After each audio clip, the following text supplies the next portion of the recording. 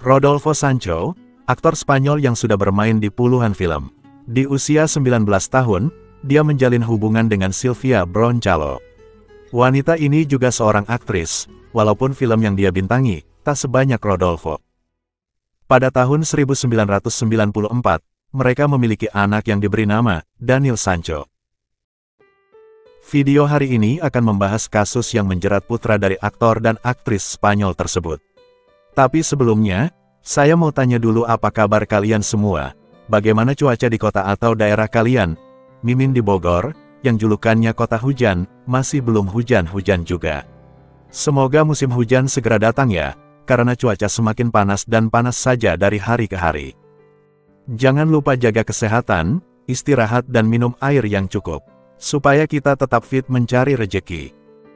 Dan saya ucapkan terima kasih yang sebesar-besarnya atas support kalian selama ini.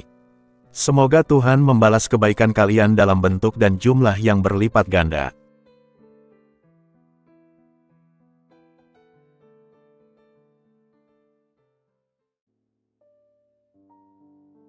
Koh Phangan adalah sebuah pulau di Teluk Thailand, berlokasi di Provinsi Surat Thani, Thailand.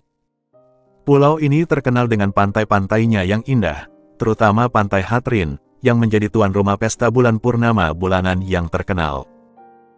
Koh Phangan memiliki sekitar 30 pantai, yang masing-masing memiliki karakteristik dan keindahannya sendiri. Selain pantai, Koh Phangan juga menawarkan berbagai keindahan dan atraksi lainnya. Singkatnya, Koh Phangan adalah tujuan yang populer bagi wisatawan dari berbagai kalangan, yang akan memberikan bermacam-macam pengalaman unik dan atraksi hiburan meriah. Para turis disuguhkan berbagai kesenangan, mulai dari pemandangan alam dan pantai-pantai yang indah, sampai ke pesta liar sampai pagi. Seperti kebanyakan tempat-tempat wisata lain di dunia, kehadiran para pendatang dengan jumlah yang banyak, biasanya akan diikuti juga dengan beberapa masalah terkait kejahatan dan masalah lingkungan yang serius. Para wisatawan, sering kali meninggalkan sampah di mana-mana. Selain merusak pemandangan di pantai, sampah-sampah tersebut akan mengotori laut, merusak terumbu karang dan habitat laut lainnya. Warga setempat Kopangan, secara ekonomi banyak bergantung pada sektor wisata. Jadi walaupun kesal dengan kelakuan wisatawan yang jorok, mau tidak mau mereka bergotong royong membersihkan pantai setiap hari. Hari Kamis, tanggal 3 Agustus tahun 2023, seperti hari-hari sebelumnya di Kopangan yang damai, dengan udara pagi yang segar dan langit yang indah. Beberapa turis mungkin sudah bangun dan menikmati secangkir kopi. Sebagian masih dalam kondisi antara sadar tidak sadar karena efek miras, dan sebagian besar masih terlelap dalam tidur pagi mereka setelah berpesta semalam suntuk. Sementara itu, penduduk setempat mulai berkeliling memunguti satu persatu sampah yang bertebaran. Sampah-sampah ini juga menjadi sumber penghasilan bagi para pemulung sampah di sana. Mereka akan memungut sampah yang bertebaran di pantai atau di jalanan, sebagian lagi akan langsung pergi ke tempat pengumpulan sampah, dan mulai memilah-milah sampah mana yang bisa menjadi uang. Salah satu di antara pemulung ini kemudian menemukan sebuah karung dengan merek pupuk, yang terisi penuh namun banyak bercak darah. Sekilas karung tersebut seperti berisi bangkai hewan yang dibuang. Tapi setelah dilihat lebih dekat, karung itu ternyata berisi beberapa potongan tubuh manusia. Temuan tersebut lalu dilaporkan ke polisi, dan segera setelah itu, polisi melakukan penelusuran ke sekeliling pulau, dan menemukan 13 kantong lain yang berisi potongan-potongan tubuh lainnya. Saking banyaknya, polisi tidak yakin apakah ini berasal dari satu tubuh manusia, atau lebih dari satu. Melihat dari ukurannya yang besar-besar, dipastikan bahwa potongan tubuh itu berasal dari turis asing polisi mulai melakukan penyelidikan dan mencari tahu identitas dari korban. Sampai kemudian mereka menemukan sebuah tas ransel yang berisi pakaian dan tanda pengenal seorang turis, yang bernama Edwin Arieta. Petugas forensik memperkirakan pria ini sudah meninggal 36 jam sebelum ditemukan. Lalu siapa sebenarnya si Edwin ini? Dan peristiwa apa yang menyebabkan kematiannya? Daniel Sancho, lahir pada tanggal 11 Juni tahun 1994, putra dari bintang film Rodolfo Sancho dan Sylvia Broncalo. Keduanya bertemu pada 1990 di usia remaja dan sama-sama mengikuti kelas akting. Entah mereka menikah secara resmi atau tidak, yang pasti hubungan di antara kedua berlangsung hingga 12 tahun. Rodolfo dan Sylvia berpisah baik-baik di tahun 2002, sementara Daniel selanjutnya tinggal bersama ayah dan kakek neneknya. Ayah Rodolfo alias kakek Daniel, bukan orang sembarangan. Orang Spanyol pasti mengenal sosok Sancho Gracia, legenda perfilman Spanyol. Di tahun 2005 Rodolfo mulai berpacaran dengan artis lain bernama Xenia Tostado, dan di tahun 2015, Daniel memiliki adik perempuan yang bernama Jimena. Membawa nama kakek, ayah, dan ibu yang terkenal, hidup Daniel Sancho bisa dikatakan sangat nyaman dan penuh kemewahan. Daniel kemudian tumbuh menjadi pemuda yang ceria dan suka dengan olahraga tenis dan surfing. Tinggal berlama-lama di hotel bintang 5 dan menikmati makanan mahal, telah menjadi kesehariannya. Dia juga kerap membagikan aktivitasnya di sosial media, terutama saat menghabiskan uang orang tua dengan berpesta di klub-klub elit, dan liburan-liburan mewah keliling dunia dengan kapal pesiar atau jet pribadi. Dalam hal asmara, Daniel diketahui memiliki hubungan yang serius selama lima tahun dengan seorang wanita bernama Paula. Walaupun dia memiliki tampang yang rupawan, dan memiliki jalan tol sendiri di industri hiburan Spanyol, ternyata Daniel tidak berminat untuk menjadi seorang aktor. Dia lebih tertarik untuk terjun ke seni kulinari, dan bekerja di sebuah perusahaan catering. Pemuda ini kerap membagikan video memasak di platform Instagram dan YouTube. Videonya yang diproduksi secara profesional dengan peralatan-peralatan mahal, ternyata tidak cukup untuk mendongkrak namanya, dan hanya ditonton oleh beberapa ribu orang saja. Dengan embel-embel nama belakang Sancho, ternyata media dan publik Spanyol tidak terlalu memperhatikan eksistensi Daniel. Orang Spanyol sepertinya lebih suka nonton video Rafathar dan Cipung di YouTube. Untuk seseorang yang dikelilingi nama-nama terkenal, tentu hal itu mengecewakan. Ketertarikannya pada seni kulinari, di kemudian hari menjerumuskannya ke dalam sebuah hubungan yang terlarang. Selain memposting video memasak di YouTube, Daniel juga sering memposting foto-foto tentang gastronomi di Instagram, di mana, pada bulan Desember tahun 2022, minatnya itu membawanya berkenalan dengan seorang dokter bedah plastik dari Kolombia, yang bernama Edwin Arieta. Lahir di Santa Cruz, Cordoba, Edwin dibesarkan dengan penuh kasih sayang. Ayahnya adalah seorang teknisi radio dan televisi, sedangkan ibunya adalah seorang guru. Sama seperti Daniel, orang tua Edwin juga berpisah dan Edwin selanjutnya tinggal bersama sang ayah, namun sang ibu, meninggal di usia 44 tahun. Edwin muda bercita-cita ingin menjadi dokter bedah dan bisa berkeliling dunia. Dia menyelesaikan pendidikan dokter spesialis bedah plastik di Argentina, kemudian mulai membuka praktek di Chili dan Kolombia. Dalam waktu 10 tahun, Edwin sudah melakukan ratusan operasi plastik, dan membuat namanya menjadi terkenal di bidang tersebut. Dia juga terdaftar sebagai anggota dalam komunitas bedah plastik estetik Kolombia, sebuah institusi yang diakui secara internasional. Untuk menunjang bisnis dan karirnya, Edwin menggunakan sosial media Instagram, yang mana di bulan Desember tahun 2022, perhatiannya tertuju pada seorang pemuda Spanyol tampan berusia 29 tahun, dengan rambut pirang sebahu, dan memiliki minat yang sama dengannya di bidang gastronomi. Pemuda ini adalah Daniel Sancho, yang hampir 20 tahun lebih muda dari Edwin. Walau memiliki perbedaan usia yang mencolok, keduanya kemudian menjalin persahabatan yang santai. Selanjutnya, Daniel dan Edwin sering berkirim pesan, berkirim foto-foto nakal, dan perlahan-lahan, tercipta romansa di antara keduanya. Keromantisan tersebut berubah menjadi hubungan fisik saat keduanya mulai bertemu dan bercinta. Menurut berbagai publikasi media, Edwin diketahui mengunjungi Daniel di bulan Januari tahun 2023 di Madrid, Spanyol. Bulan berikutnya, mereka terlihat menginap di sebuah hotel di Segivia, Spanyol. Selanjutnya di bulan Juli tahun 2023 mereka berlibur ke Pulau Ibiza, Spanyol.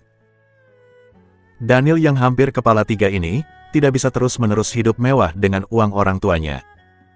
Di sinilah peran Edwin terlihat sangat jelas. Pria 44 tahun ini memanjakan Daniel dengan uang jajan melalui sekeping kartu kredit dengan limit jumbo. Selain itu, Edwin juga memberi uang sebesar 10.000 dolar, atau sekitar 150 juta rupiah, untuk membantu Daniel membuka usaha restorannya sendiri. Setelah setengah tahun menjalani hubungan rahasia jarak jauh, Edwin mulai berpikir untuk membina hubungan yang serius bersama kekasihnya itu. Untuk itu, dia berencana membuka dua cabang klinik di Spanyol, tepatnya di Barcelona, dan satu lagi di kota Madrid, yang sekaligus akan menjadi tempat tinggalnya nanti berdua bersama Daniel. Rencananya tersebut diungkapkan kepada Daniel dan pemuda itu pun setuju. Namun sebelum memulai lembaran baru sebagai pasangan, Daniel mengajak Edwin untuk liburan terlebih dahulu, berdua saja bermesraan dan menjauh dari rutinitas mereka sehari-hari. Thailand khususnya Koh Phangan dengan pantai-pantainya yang indah, menjadi tujuan wisata favorit bagi Daniel. Kebetulan, Edwin yang suka traveling ini juga belum pernah mengunjungi pulau tersebut. Dengan dompet yang tebal, liburan itu tidak menjadi masalah sama sekali bagi Edwin. Daniel tiba terlebih dahulu di Pulau Koh Phangan pada tanggal 31 Juli tahun 2023, dan dua hari setelahnya, Edwin pun tiba di sana. Daniel menjemput si dokter bedah plastik menggunakan motor, lalu mereka berboncengan menuju Hotel Hut Salat Villa and Resort, di mana Daniel sudah booking sebuah bungalau di sana. Namun sejak dia tiba di pulau itu, Edwin tidak lagi membalas pesan atau telepon dari keluarganya. Hal ini aneh bagi saudara-saudaranya dan mereka mulai khawatir telah terjadi sesuatu pada Edwin. Hubungan antara Edwin dan Daniel memang diketahui oleh saudara-saudara Edwin di Kolombia. Mereka tahunya, Edwin pergi ke Koh Phangan untuk menemui Daniel. Pada tanggal 3 Agustus, setelah 24 jam lebih Edwin hilang kontak, saudaranya menghubungi Daniel via Instagram, tapi pemuda itu mengaku kalau dia belum bertemu dengan Edwin. Saudara perempuan Edwin lalu mendesak Daniel untuk menghubungi polisi dan melaporkan orang hilang, tapi Daniel terkesan mau tak mau untuk menuruti saran perempuan itu. Saat Daniel dan saudara perempuan Edwin berkomunikasi via DM Instagram, mereka tidak tahu, di berbagai tempat di pulau tersebut, polisi sudah mengumpulkan satu persatu potongan tubuh milik Edwin Arieta, dan mulai melakukan investigasi. Polisi Thailand sudah mendapatkan identitas Edwin Arieta, dan dari data yang ada, Edwin berencana menginap di Hotel Hut Villa and Resort bersama seorang pria bernama Daniel Sancho. Tak butuh waktu lama, polisi Thailand langsung menahan Daniel untuk diinterogasi. Daniel dan Edwin berencana menghabiskan waktu berlibur di Pulau Koh Phangan. Tapi apa yang terjadi? Mengapa Edwin malah berakhir mengenaskan seperti itu? Dalam interogasi, awalnya Daniel mengaku tidak tahu menau soal kematian Edwin yang mengenaskan itu. Dia memang janjian dengan Edwin di Koh Phangan, tapi pria itu tidak pernah muncul. Keterangan itu segera berubah, saat polisi menunjukkan rekaman CCTV yang memperlihatkan Daniel dan Edwin berboncengan motor memasuki Hotel Hut Salat Villa and Resort. Daniel pun mengubah keterangannya. Menurutnya, selama beberapa bulan ini, terjadi kedekatan antara dia dan Edwin. Tapi Daniel sama sekali tidak serius dengan hubungan tersebut. Bagi Daniel, Edwin hanyalah investor untuk usaha restoran miliknya. Namun di sisi lain, ternyata Edwin sangat terobsesi terhadap Daniel. Pemuda ini menambahkan bahwa tujuan pertemuan mereka di Koh Phangan adalah untuk membicarakan bisnis. Tapi setelah tiba di Bungalau, Edwin mengajaknya untuk berhubungan intim yang ditolak oleh Daniel. Namun Edwin terus memaksa, membuat Daniel jadi emosi dan meninjunya. Dan pria itu pun tak sadarkan diri. Daniel berusaha menyadarkan Edwin yang terkapar di lantai kamar mandi. Namun di detik berikutnya, dalam upayanya itu, Daniel malah menusuk leher Edwin. Benar-benar membagongkan cerita Daniel ini. Polisi Thailand mengembangkan kasus ini dan mendapat banyak petunjuk. Terlepas dari kesaksian Daniel, polisi sudah mendapatkan rekaman CCTV dari pasar swalayan lokal. Didapati bahwa pada tanggal 2 Agustus itu, Daniel membeli sebuah pisau, deterjen dan beberapa perlengkapan kebersihan di sana. Setelah itu Daniel pergi ke pelabuhan untuk menjemput Edwin. Terlihat seperti pembunuhan yang direncanakan. Pertemuan bisnis apa yang membutuhkan pisau serta deterjen dan perlengkapan pembersih. Saat melakukan pemeriksaan di Bungalau, polisi juga menemukan saluran pembuangan di lantai kamar mandi seperti tersumbat. Setelah diperiksa, ternyata lubang itu berisi gumpalan rambut, beberapa isi perut, dan jaringan tubuh manusia. Dengan bukti-bukti yang ada, Daniel sedikit demi sedikit mengubah kesaksiannya kembali. Dia mengaku memang betul terjadi hubungan intim di antara mereka. Awalnya dia hanya iseng dan memanfaatkan uang dari si dokter. Tapi kemudian, Edwin semakin intens dalam hubungan tersebut. Malah dia berencana untuk pindah ke Madrid dan tinggal bersama Daniel. Sementara Daniel, punya pacar perempuan dan sudah ada rencana untuk menikah di Indonesia.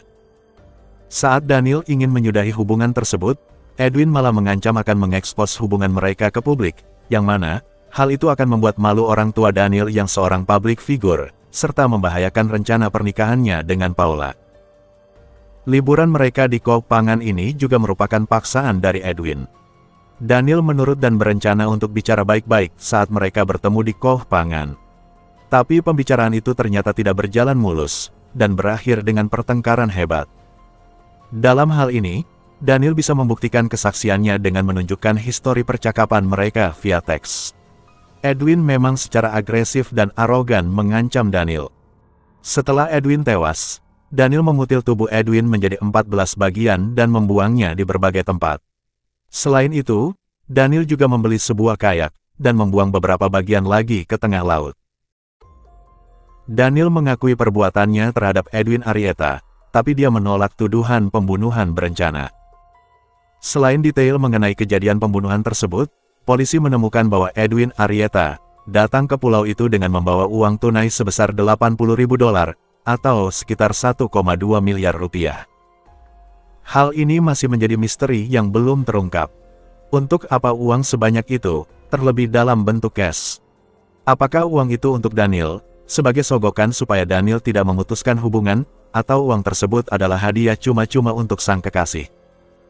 Daniel mengaku kalau dirinya diancam oleh Edwin, tapi yang terlihat sepertinya Edwinlah yang menjadi pihak yang terancam dengan semua perencanaan yang dibuat Daniel. Sampai saat ini, Daniel Sancho masih ditahan oleh polisi Thailand, dan kemungkinan besar dia akan dituntut dengan hukuman mati. Sementara itu, orang tuanya sudah menyiapkan pengacara terkenal dari Spanyol untuk membela anak mereka. Sidang perdana dijadwalkan akan dilaksanakan pada bulan Oktober mendatang. Apakah Daniel akan berakhir dengan hukuman mati?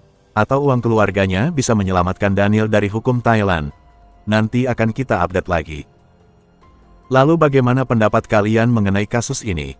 Apakah benar Daniel adalah korban pengancaman Edwin, atau Daniel memang sudah merencanakan pembunuhan ini sebelum mereka tiba di Koh Pangan? Coba sampaikan pendapat kalian di kolom komentar. Itulah tadi kisah nyata kasus kriminal, Daniel Sancho, putra dan cucu dari aktor terkenal di Spanyol. Terima kasih sudah menonton video ini hingga selesai. Sampai jumpa lagi di kisah nyata kasus kriminal berikutnya, dari channel The Purbas. Dedek jadi pengen ke koh pangan bang. Bukannya kau mau nikah sama James? Ah dedek putusin aja si James, cowok gak modal. Masak mau nikah ngajak patungan gitu. Syukurlah kalau sudah sadar. Ya udah kalau dedek ada uang 100 juta, mending ngajak abang ke koh pangan. 100 juta kurang hayati. Kalau mau ajak abang ke koh pangan, minimal bawa uang 1,2 miliar atau 80 ribu dolar. Maksudnya bang, dedek gak ngerti.